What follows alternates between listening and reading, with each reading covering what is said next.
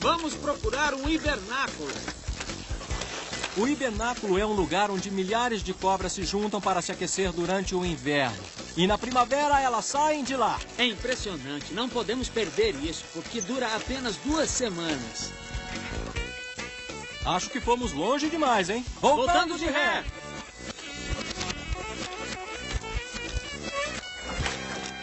Já sei o que nós vamos fazer. Sei como vamos achar um hibernáculo. Isso mesmo. Nós vamos achar uma cobra e depois vamos seguir sua trilha até o hibernáculo. Agora temos que achar uma cobra. Ah, uma cobra achou a gente. Muito bem, nós vamos seguir a trilha dela até o hibernáculo. Quando seguimos uma trilha de cobras, precisamos ficar de barriga no chão. Nós seguimos a trilha sinuosa até esta aglomeração incrível de cobras de fita do oeste. Vejam estas cobras. Elas estão deixando a caverna que usaram como hibernáculo. Depois que as cobras de fita saírem da caverna, elas vão acasalar. E então ficam sozinhas o verão inteiro. E no inverno elas se reúnem novamente no hibernáculo. É a única maneira delas sobreviverem ao frio. Martin, que tal a gente voltar agora para a conexão animal? É, vamos de barriga no chão, ao estilo da cobra de fita. Será que o Zubu achou alguma cobra? Estamos na África, procurando animais que vivem perto da H2O. É, eu gostaria de achar um pouco de H2O depressa. O sol está muito quente. É, sim. Uh, está quente aqui. É, e eu estou com sede. Onde tem um lago? Eu não sei. O problema é que nós não temos narizes que conseguem farejar água como os animais que vivem aqui. Bom, se nós não conseguimos farejar, vamos seguir outros faros. Elefantes. Estes são bons focinhos para se seguir. Eu acho que é por ali, Chris. A tromba do elefante é incrível. Ele consegue farejar a água a uma distância de 32 quilômetros. É. Eles sabem exatamente onde achar água. Estão todos indo na mesma direção e... Isso mesmo! Lá está o lago. Mas parece que este lago já está lotado. É, acho que vai demorar um bom tempo até chegar a nossa vez.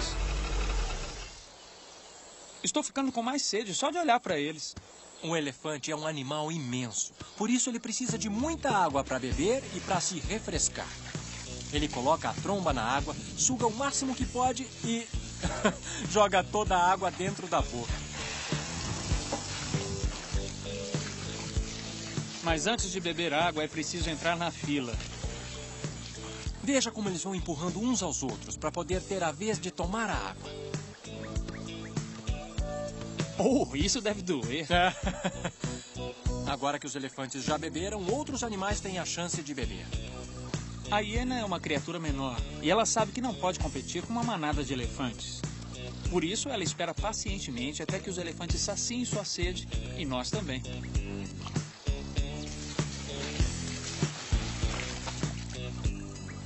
Chris, nós e a hiena não somos os únicos que estão esperando. Os impalas também estão esperando sua vez para beber a água. E lá vão os elefantes. E agora os outros têm a chance de beber.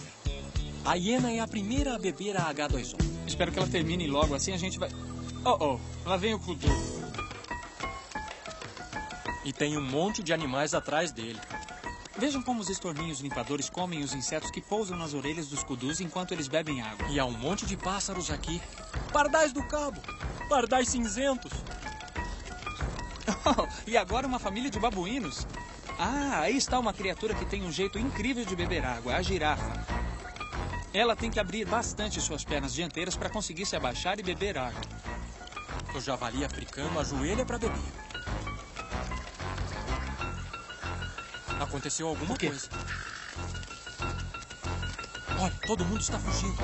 E esta é a razão: uma leoa. Quando ela aparece em um lago, os outros animais mantêm uma boa distância. É, se houver um lago por perto, os leões podem visitá-lo muitas vezes. Eles precisam de cerca de 20 litros d'água por dia. Ei, parece que sobrou um lugarzinho ali pra gente. Ah, até que enfim. Vamos lá. Finalmente, vamos poder beber água. É, esta água está horrível. Não podemos beber isso, a menos que a gente use o nosso sistema super avançado de purificação e de é assim que ele funciona. Colocamos uma ponta dentro da água e depois bombeamos a água através do purificador. E ela sai limpinha do outro lado.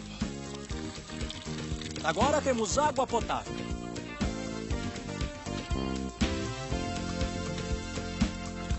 É, água é vida.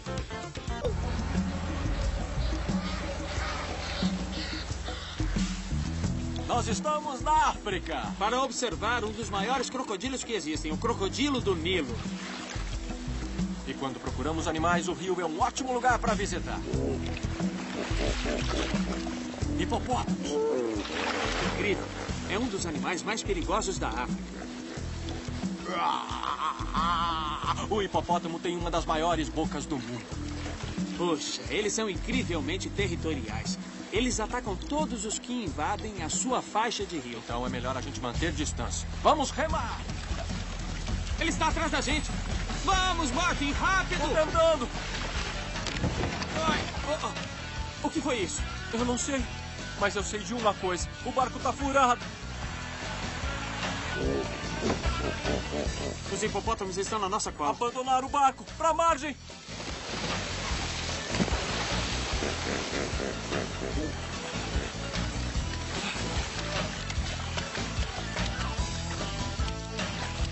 Uh, essa passou perto.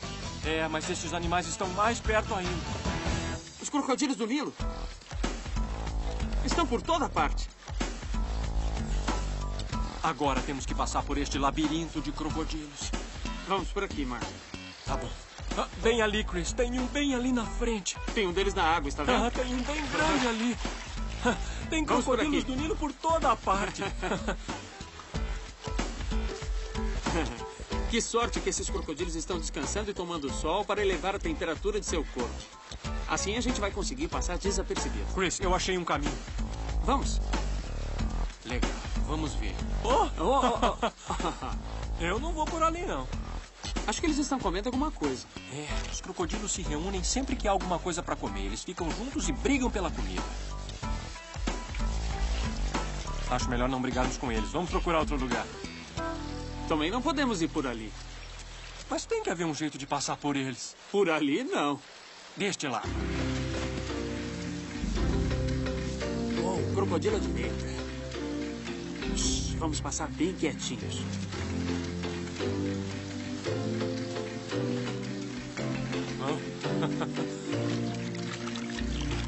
Cuidado. Mais um atrás de mim. Uou! Parece que tem mais um crocodilo à frente, mas este é enorme. Calma, calma. Legal, conseguimos. Conseguimos passar pelo labirinto de crocodilos. Vamos voltar para a conexão, animal? Agora só precisamos ter cuidado com os leões. É, eles podem estar em qualquer lugar. Ouviu isso? Nada melhor para matar a sede de um filhote de leão do que H2O fresquinha. H2O? É, H2O, este é o nome científico da água. Água. Nada poderia sobreviver sem água, Zubu.